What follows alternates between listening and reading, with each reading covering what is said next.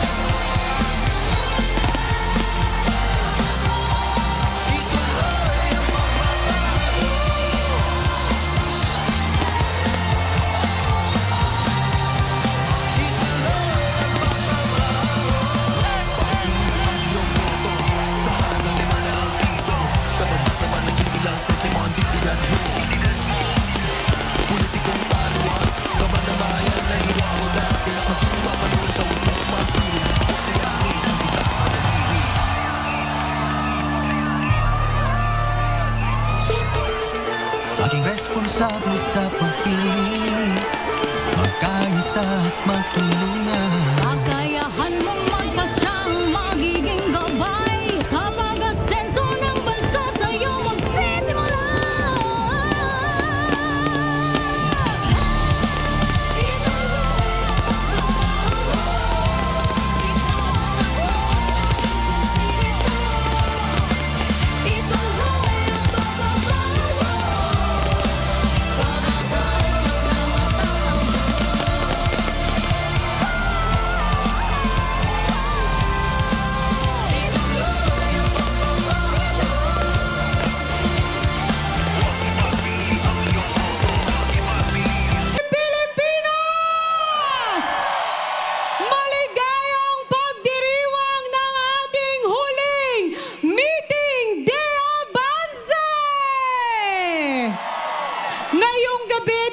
Pakinggan niyo pong mabuti si BBM and Sara Duterte. Dahil sa susunod na linggo,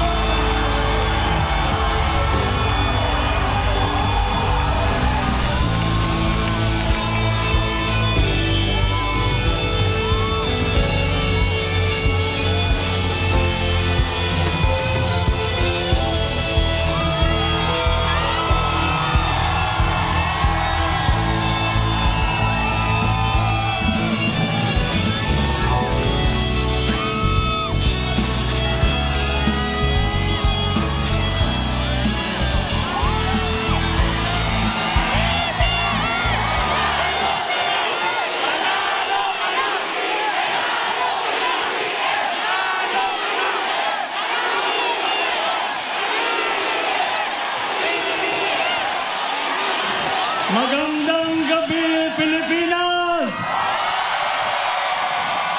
Maraming maraming salamat po!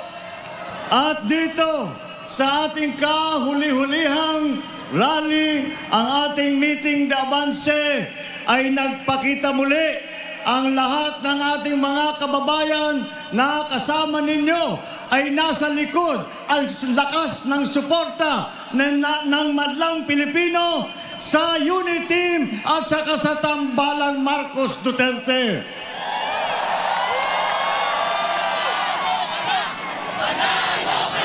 Mula po, mula po nung kami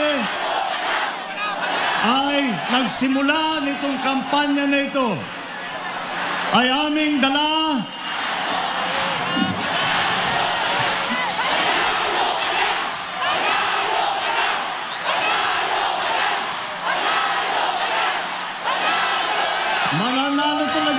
basta't walang tulugan sa lunas.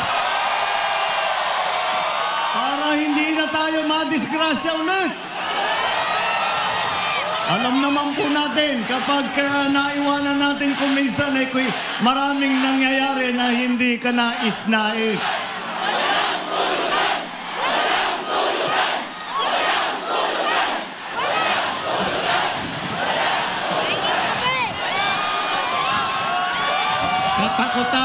Itong uubusin natin.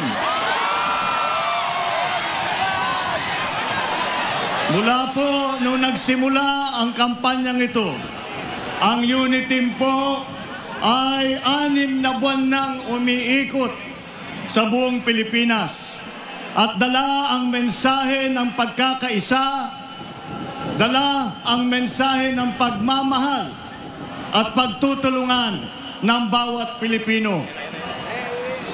Dahil po sa aming pananaw, ito ang kailangan natin sa panahon na krisis kagaya ngayon.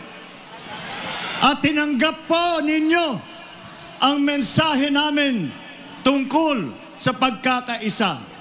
Naunawaan po ninyo kaagad na ang pagkakaisa ay magiging bunga ng pagmamahal ng bawat Pilipino sa isa't isa. Marami na pong nakabanggit sa dami ng problema ang ating hinaharap. Marami pong nakakalam, nakakaalam at nararamdaman kung ano ba ang mga dapat tugunan na dala ng ang pandemya, ng krisis ng ekonomiya na likha ng pandemya. Kami po ay patuloy naming isinisigaw ang pagkakaisa. At ang ating mga kababayan, kayo po lahat, ay napaka, napakadali sa inyo na maunawaan ang pagkakaisa dahil nasa inyo ang puso ng tunay na Pilipino. Ang puso na nagmamahal sa kapwa. Ang puso na may malasakit sa kapwa. Ang puso na nagmamahal sa ating bansang Pilipinas. Dahan-dahan po ay dumadami po ang sumasama sa atin. Dahan-dahan po ay naririnig natin ang sagot ng ating mga kababayan sa sigaw ng unity ng pagkakaisa. At ito po ay nung nagsimula kami, anim na buwan na po, nung nagsimula kami, ay ang sagot na naririnig natin ay parang bulong lamang, halos hindi po marinig. Habang tumatagal po ang panahon, nakikita po natin na yung bulong na yan ay palakas ng palakas habang dumadami nagsasanib puwersa sa likod ng kilusan ng pagkakaisa. Hanggat ngayon na maliwanag na maliwanag na ang sigaw ng Pilipino. At ang sigaw ng Pilipino ay nauunawaan namin ang pagkakaisa. Nauunawaan namin ang pagmamahal. Kaya't kami ay kasama sa pagkakaisa. Kami kasama sa pag pagpapaunlad ng Pilipinas. Kami ay kasama sa pagpaganda ng buhay ng bawat mamamayang Pilipino. Kami ay kasama sa kilusan ng pagkakaisa. Dito po nating makikita